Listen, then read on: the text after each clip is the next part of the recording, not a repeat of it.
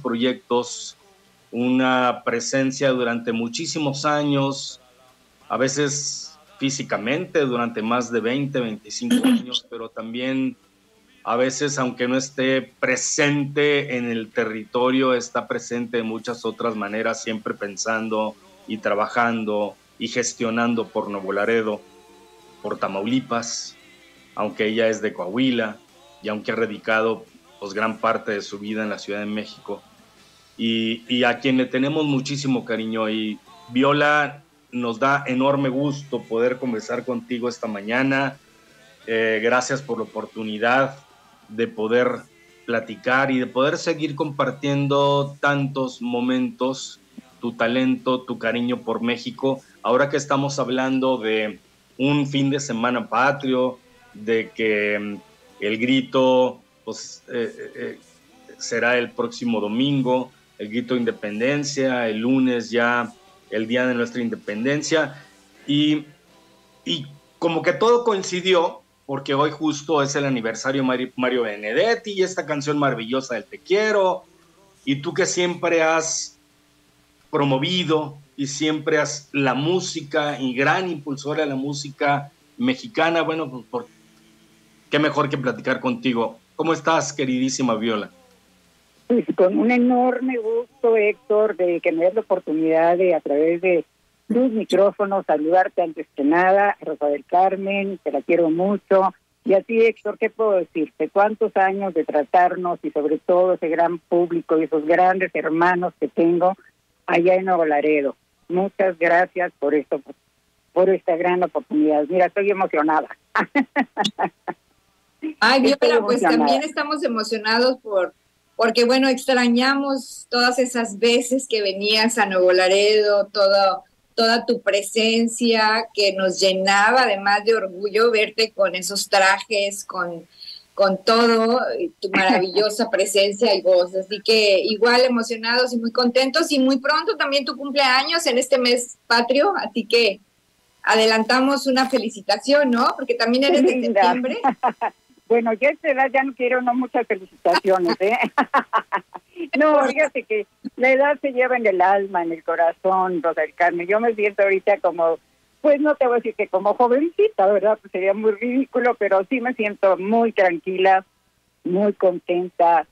Gracias a Dios recuperando mi salud, que eso era lo más importante. Y así que tengo muchas cosas que agradecerle a Dios y a la vida. Muchas gracias. Viola, y y bueno, ahora también, además de seguir cantando, además de seguir presentándote, conversando, te invitan por todos lados. Eh, ahora también tienes una faceta muy interesante que es de lectora, de promover la lectura a través de este maravilloso programa que es eh, de Leo, luego Existo, que organiza el programa de extensión cultural del EMBAL de Bellas Artes. Y, y bueno, si alguien ha recorrido todos los caminos, todos los foros, todos los escenarios de este país es Violatri. Eh, obviamente, primero al, bueno, primero con, el, con, con, los tres con ella, por supuesto, este maravilloso cuarteto, luego con Guadalupe, recorriste también todos los caminos del país. Luego, eh, de manera independiente, cuando decidiste también seguir tu carrera y seguir impulsando la música mexicana, eh, ya sin Guadalupe, pero con ese compromiso de seguir promoviendo nuestra música mexicana y latinoamericana, por supuesto, también. Y ahora también como lectora sigues recorriendo los caminos de este país. ¿Y qué tantas anécdotas, qué tantas experiencias no tendrá Viola Trigo? ¿Cuál es tu mirada de país? Em, si haces un recorrido, por ejemplo, si cierras los ojos, si haces memoria y haces un recorrido de este país, ¿qué nos puedes contar de lo que has visto durante tantos años? El paisaje, la comida, los niños, la experiencia, los trajes, las fiestas. Algo que, que, que es entrañable para ti, querida Viola. Ay, Héctor, son infinitas, son infinitas las experiencias en todos los estados, cada uno de ellos me dejó una riqueza, eh, ¿qué te puedo decir? Espiritual antes que nada, porque ver a nuestro pueblo, a nuestra gente, a nuestros artesanos, a nuestros eh, orfebres, a, a todo lo que hacía. Para mí eso fue una riqueza que me dejó una huella enorme, ¿no? Para seguir defendiendo a través de la canción y sus compositores, ¿verdad? A nuestro México, que infinitamente es un país maravilloso y mágico, como lo decía Pablo Neruda, ¿no? Así que, ¿qué te puedo decir? Mira, curiosamente con este programa de Leo Luego Existo, que me voy a Morelia el día 24, voy a leer a doña Elena Poniatowska, este, eh, pues qué curioso, fíjate que ahí reinicié ya mi carrera sin Guadalupe. Fue uno de los primeros estados que yo visité con siete u ocho municipios, así que ya te imaginarás el impacto que fue para mí conocer pues desde Morelia hasta las zonas más bajas y serranas de, de, Michoacán. Así que este, ya de ahí, pues empiezo un viaje con la Secretaría de Educación Pública primero, ¿verdad? Que fue donde a ustedes los conocí por primera vez, Héctor, que fue una maravilla, con impacto también estar en la frontera que de hecho pues yo vivo en la frontera es mi casa porque pues nací en, en Moncloa pero pues mi abuela me llevaba mucho a Eagle Pass o íbamos a Monterrey pasábamos allá por el, a Nuevo Laredo, ¿no? Entonces este, desde chica yo soy muy ligada a ustedes, así que imagínate como de punta a punta de Yucatán hasta, bueno, ahora sí que Baja California, ¿no? Ya te imaginarás la cantidad de experiencias, de vivencias, la comida, que bueno, tenemos una comida, una gastronomía, bueno, pues ya en el mundo reconocidísima, y sobre todo su música, porque también me tocaba pues, escuchar a la música tradicional de cada estado. Eso me dio una riqueza infinita, Héctor. Con la SEP, con Cultura, con, con, con la Culta, con la Secretaría de Cultura, y en fin, eh, pues tú conoces mucho mi historia, Héctor, porque ustedes cada año tenían, pues ahora, ahora sí que yo tenía el honor de, de ir a visitarlos y colaborar para, pues para esa ciudad tan querida para mí que es Nuevo Laredo. Viola, pero además fíjate que pues te ha tocado eh, esta parte tan importante de, de hablar de nuestra cultura, de nuestra identidad en México a través de tu voz, a través de pues de que has estado eh, cantando desde el nuevo canto, los grandes compositores, todo la música tradicional de México, pero además también hiciste un personaje que, bueno, a lo mejor muchos lo recuerdan, pero quien no, pues eh, es un papel tan importante en el cine que fue interpretar a la Virgen de Guadalupe en, en esta película eh, que, que, hablaba, bueno, sobre sobre esta, esta aparición de la Virgen y que eso también para ti, ¿cómo te marcó? ¿Cómo, cómo fue para ti esa experiencia? Pues porque además siendo una alguien tan venerado en, nuestro país como es la Virgen de Guadalupe, ¿no? Eh, en esa, en esa eh, etapa de, de cine en tu vida. Rosy, fíjate que eso fue para mí muy fuerte, muy fuerte porque pues yo soy guadalupana desde muy niña porque mi abuela fundó uno de los de las organizaciones guadalupanas en México. Así que yo con la Virgen de Guadalupe pues tengo, bueno, es la plática diaria, ¿no? Pero más que nada, fíjate que pues me seleccionaron, me seleccionaron, en una, cuando me dijeron eso, tú sientes cuando así como que se te doblan las piernas, pues eso me pasó. Eh, estuve negándome, porque dicen, no, yo que tengo que ver, soy una mujer casada, tengo dos hijos, y además estaba yo esperando a mi tercer hijo, imagínate, ¿no?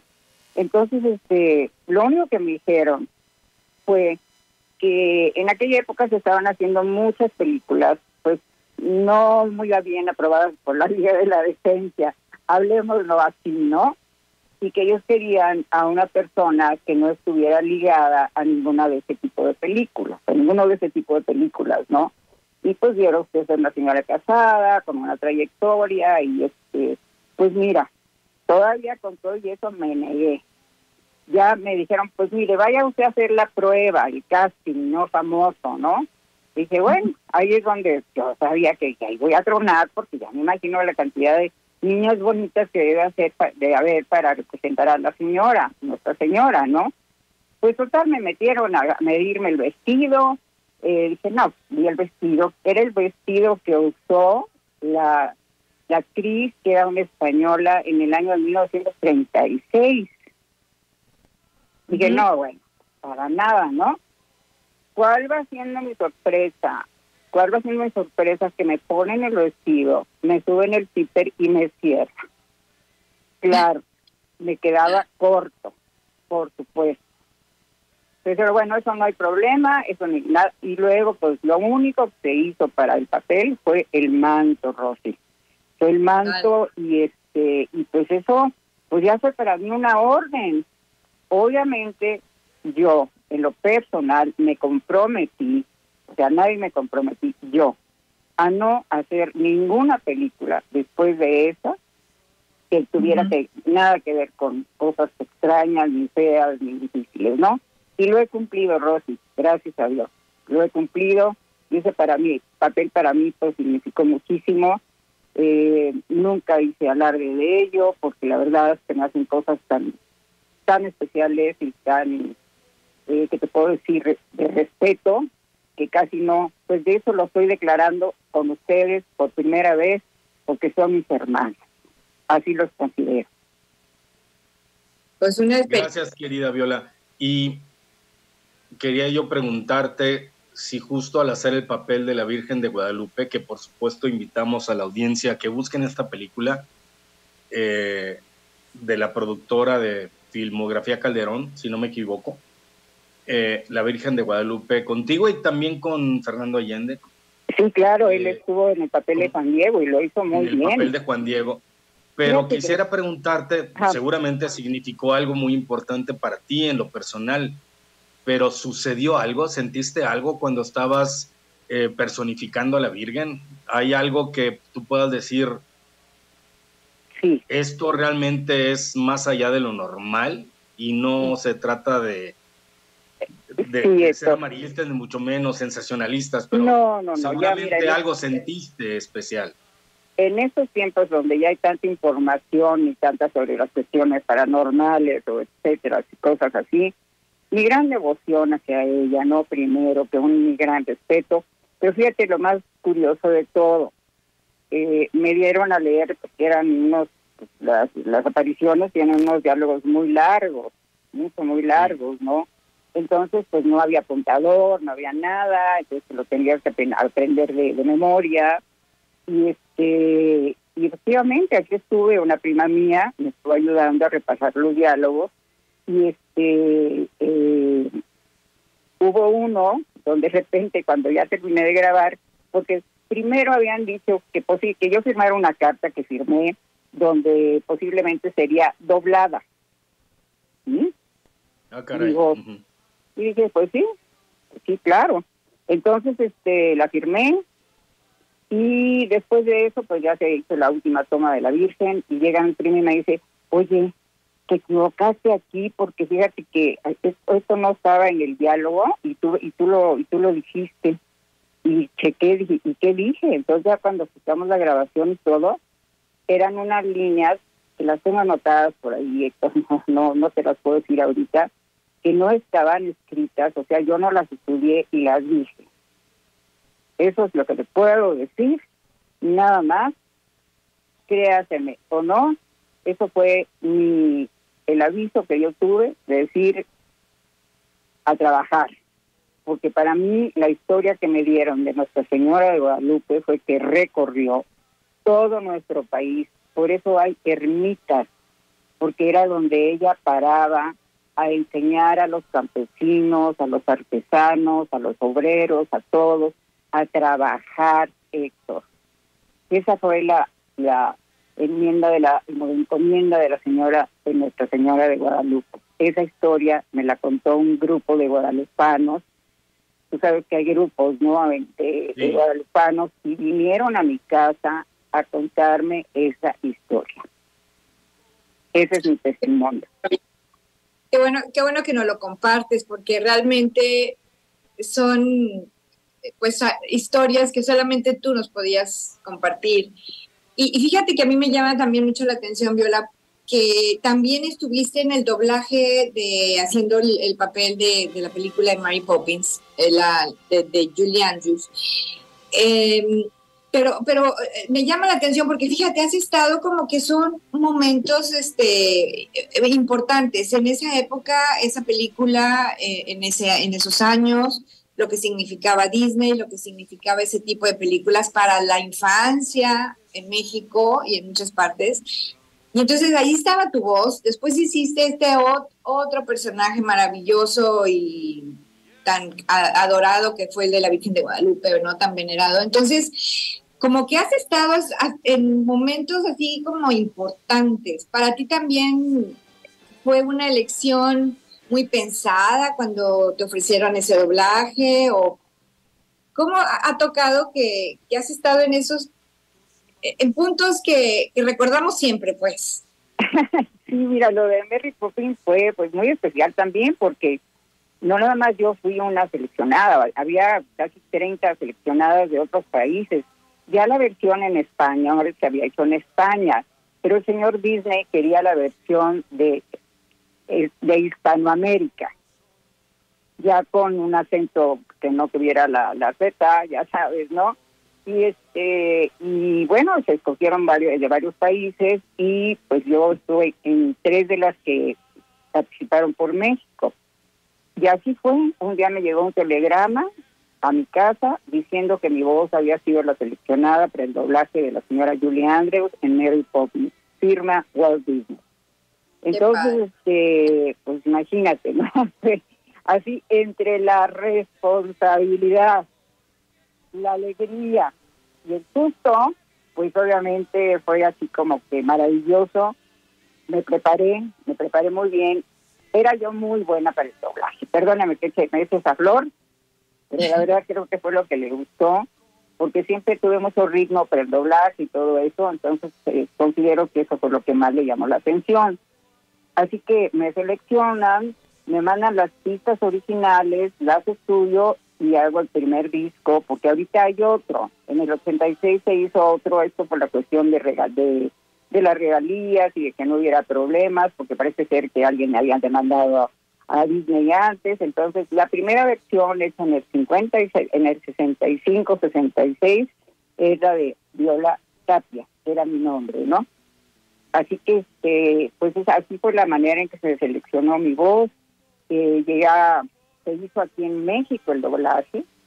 Lamentablemente hubo un problema para no poder eh, doblar los diálogos de la película porque la ANDA no dio el permiso ellos arguyeron que se desplazaba el cine mexicano, ¿no?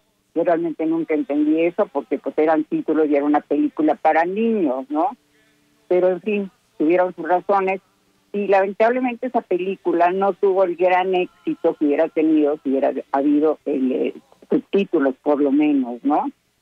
Así que este que fue finalmente lo que pararon, pero pues los niños que era a quien se le daba el mensaje, pues no la pudieron ver. Entonces, este, Walt Disney me decía de Mexican Mary Poppins cuando me conoció. Así me presentó con la gente de, su equipo y todo, porque fuimos a hacer un programa especial allá de el, famoso Disney World y ahí cantábamos el supercalifragilístico espialidoso. Y a él le encantaba que yo se le oyera al revés, porque no nada más era por sílabas, como los espialilísticos, frágil, cal y super sino que se lo dije todo al revés, que es oso de ilaite, osipsiligar y la repus. Entonces, Disney se Órale, nomás, nomás, tú, nomás tú puedes hacer eso, ¿eh? no, es fácil, es fácil. Escríbanlo y lo leen, ya lo memorizan. Supercalifragilístico espiralidoso, pero para atrás está chino. Espiralidoso, porque si dicen espira, no es espialidoso y ya las por sílabas, pues de ahí las pones dos o espialilístico, frágil, calisupe. Pero también muchísimos recuerdos de eso, Viola. Por varias generaciones nos tocó ver de niños y, escuchar esa canción y, tratar de decir también esa palabra mágica. sí, sí, sí, fíjate que cuando la grabábamos, salimos de, la RCA con el disco, ahí nos fuimos directo a Radio Mil en aquella época, que era una de las estaciones principales, ¿no? En tres horas la canción estaba en primer lugar. y mis compañeros no querían grabarla porque decían, ay, ¿quién va a entender eso? Les dije, es por eso que va a pegar, porque nadie le entiende y, lógicamente pues fue un éxito, ¿no? Y, es que todo el mundo recordamos eso, Viola, por supuesto eh, otras generaciones, o sea, ahorita se me vino a la mente, supercalifragilístico espiralidoso, ta, ta, ta, ta, ta. Aunque al oír decirlo suene enredoso, aunque al oír decirlo suene enredoso, sin con rapidez lo dice, suena talentoso, supercalifragilístico espiralidoso. y ahí me todo el, proceso con mis compañeros muy buenos. Me tocó hacer el doblaje del supercalifragilístico espiralidoso con Julio Lucena, estupendo actor y muy gente de doblaje, muy profesional. De él aprendí muchísimo. Y ahí está ahorita precisamente la acaban de subir ahí a Facebook y pues los recuerdos son muy bonitos, ¿no? Pero el mayor recuerdo es haber conocido al señor Walt Disney en persona, que me pidiera que le cantara la Delita, la Valentina, la Borrachita, este, ¿qué más? Las mexicanas, porque él amaba profundamente a México. No, Viola, pues creo que ha sido, han sido como que momentos tan especiales, pero en, tu carrera, pero que, que marcan como etapas y, y, yo creo que la que más recordamos, por supuesto, es tu presencia en los escenarios. O sea, de verdad, verte con tus trajes, con, con tus todo lo que lo, lo, que interpretas con la con esa interpretación maravillosa con tus manos, o sea, realmente yo creo que eh, pues para Nuevo Laredo sigue siendo Viola Trigo y cada día de, muertos pues recordamos tu visita, ¿no? Y, y pues bueno, ahí se, se queda vivo ese recuerdo. Ay, qué linda, mi Rosy, porque para mí también me, se me queda el de ustedes, no se me olvida cómo disfrutábamos los montajes de las ofrendas, yo estrenar vestido, rebozo, lo que fuera, ¿no? Para ustedes, entonces, este, era realmente tiempos maravillosos y los tengo guardados aquí en mi mente y en mi corazón para siempre, ¿no? Muchas gracias por todo eso que me dieron. ¿Y cómo están allá? Y, que tú, y que tú nos diste, sin duda, le diste también mucho a esta ciudad, a Nuevo Laredo, durante tus visitas, con estos homenajes también eh, musicales, estas ofrendas musicales, bueno, por su propio, por supuesto, al propio Guadalupe Trigo, pero también a Jaime Sabines, a Lola Beltrán, a, a, a, Cuco Sánchez. así es. Eh, eh, y, y, Viola, por ejemplo, ¿qué nos puedes decir hablando de magia, hablando de México, hablando de, de estos recorridos que has hecho por todo el país durante toda tu trayectoria? ¿Qué nos puedes decir para ti? ¿Cuáles son los lugares más mágicos em, que tú sientes entrañables, que tienen que ver con la cultura y la identidad de este país o las identidades? Indudablemente mi recorrido de 129 municipios en Oaxaca en tres meses fue inolvidable. Ahí conocí ese México de tantas necesidades y de tanta hermosura también. Ahí se me obsequiaron y me vistieron indígenas, ¿no? Con huipiles, por eso es que siempre uso el huipil. Me, me, me amadrinaron, me dieron bendiciones, me bañaron con flores, Imagínate lo que yo viví en Oaxaca, en esos municipios, algunos con un grado de dificultad tremendo porque recorrí cinco regiones de Oaxaca. Desde conocer el caracolillo, ese que da el rosa mexicano, que los indígenas le soplan para que suelte la babita, que es lo que da ya mezclado el tono de rosa mexicana. Se llama Jamiltepec el municipio. Entonces, este, hasta haber sido madrina de las primeras losetas puestas en, en Huazulco, ¿eh? que estaban apenas construyendo el Hotel Mediterráneo. Imagínate cuántos años estoy hablando, ¿verdad? Es prehistórico ya. Entonces, este, pues todo eso, indudablemente, la tierra de mi abuela también, que fue, es Yucatán. También tuve el honor de recorrer como no sé, 12 o 18 municipios Y bueno, la comida de ahí ya te, te imaginarás, llegué con una bola de, carne que me regalaron de venado, que traía las cosas todavía. No, hombre, no, una delicia, Héctor, porque el famoso es eso, lo que hacen el, el ¿cómo le llaman? ¿Cómo le llamamos? El salpicón. El salpicón, ¿no? No, una delicia, ¿no? Entonces, este, pues también soy muy golosa y me encanta la comida, ¿no? Querida pues, Viola, eh, que sea esta em, una oportunidad más de muchas otras que espero que pronto vendrán. Eh, mucho éxito en Morelia con la lectura de eh, Elena Poniatowska, que estarás ahí en esta feria del libro y esperamos verte pronto por acá. Un abrazo, muchísimas gracias. Te agradezco mucho, Héctor. Un abrazo, Rosy, y hasta todo Nuevo Laredo. Los quiero. Viola, estés muy bien. Gracias. Gracias y gracias a todas y todos ustedes por escucharnos. ¿Y qué tal si nos escuchamos la próxima semana, Rosa? Nos escuchamos. Mi ciudad.